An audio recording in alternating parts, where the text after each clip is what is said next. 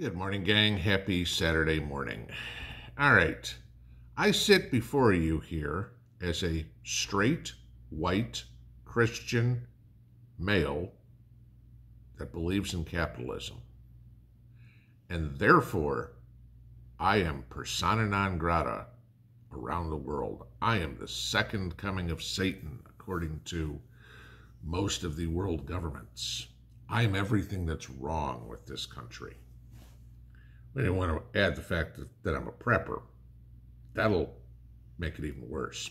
I'll get to that in a minute. you look at what's going on in the world right now. There is a war on being white. There is a war on being straight. There is a war on being a male. Good luck for somebody like me to get a job in the government. It's pretty much impossible, especially under this administration in the United States. Okay. You know, just yesterday you had the the big announcement of the new communications director. He's gay. Like that makes him qualified, right? Okay. You know, little orphan Annie, the press secretary, it's very, very important that he's gay. Please explain to me how who you sleep with makes a difference on how good you are in telling us the facts that are coming out of the administration that basically dictates a lot of what happens in the United States. Okay? This is, we had, was it, affirmative action, we've had equal opportunity, we've had quotas, we've had, this is flipping everything on its freaking ear. Okay? This, this is the exact how do you want to put this? In the 60s, you had the civil rights movement to get equality. And we've gone right past that and go, crap, you're a white male and you don't want to fornicate differently. Let's put it that way. Oh my God, therefore you are bad, bad, bad. But if you decide to go wear a dress, hey, then you're perfectly accepted into our society. Okay. Now, you know how I say all the time about watch what goes on in Europe or wherever. In this case, it's going to be Australia. Uh, and wait till it comes here. I want to tell you what's going on in Australia now. According to Australian law, there's something called the Q Prime database, where the police must keep a record of the following people's activities conspiracy theorists. Okay, that's not going to be anything new. Religious, social, or political extremists. Pretty vague. What do you consider a religious, social, or political extremist? Do you consider uh, somebody that is screaming climate change all over the place as a social extremist? I would. Okay. Do you consider somebody like AOC or Bernie Sanders a political extremist? I would. Okay. Not there, though. You can pretty much bet. Okay. As well as people with ideologies that support, get this, communism, socialism, Marxism, the aforementioned AOC and Bernie Sanders qualify, or capitalism. So if now you are a supporter of capitalist, uh, capitalism, you are for all intents and purposes, an enemy of the state in Australia. May I remind you, Australia, you are a capitalist society. Your economy is based on capitalism. Of course, that's not what the powers that be want it to be anymore. Just like here in the United States, they want it to be communist. Oh, but that's no good too. So, do you see this?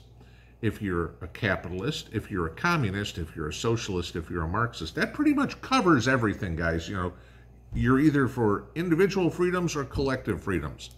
So no matter what, you are an enemy of the state in Australia. Unless, of course, you work for the state. Then, of course, you're all right. Do you see where this is going? The people are enemies the politicians are fine. Okay? does this again sound anything along? Let's put all the pieces together. CBDC, control, yada yada yada. Feudalism, elites and serfs. This is it. They're coming up with something that can quantify everybody as bad. Okay, you know, God forbid you're me, a white straight Christian male who's a capitalist. Oh my God, you're like first in line for the for the guillotine. so what's the biggest fear that they have? Now remember, Australia doesn't have guns. Okay? They pretty much took all those away. At least in the United States, and I've said many times, the Second Amendment is the only thing that's preventing the world from falling into complete chaos. Are you a prepper? Oh, you don't want to be if you are in Australia because now you are an enemy of the state. There was a situation that happened last week in Australia uh, where the police went to a couple's house who they were considered, get this, religious extremists because they were Christian fundamentalists. There's a strain of Christian fundamentalism. I'm probably butcher this pronunciation. Pre millenarianism, okay, which these people believe in preparing for the end of days. What's wrong with that? Okay. According to your religious beliefs, you are preparing your soul for the second coming of Christ. What's wrong with that? In the eyes of the Aussie government, oh my God, you are a terrorist for all intents and purposes. So the cops went to these people's house, okay, and claimed that they were trying to set up some sort of attack on the government. All right. They didn't do anything. Okay. So this was guilty until proven innocent. There was no crime committed, but because of the thought that they were preparing for the end of days, that's a crime. Now, let me ask you this.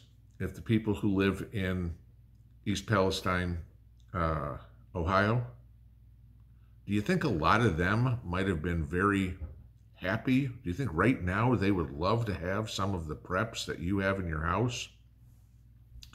The canned food, or the gas mask, or the hazmat suit, or the bottled water, or something. You think they might like to be prepared? Because the situation in East Palestine is kind of like an end of days situation. Okay? It's an SHTF situation. Granted, it ain't going to be the second coming of Christ. But we are being, bad choice of words here, bad pun, crucified for protecting ourselves from the incompetence of government officials.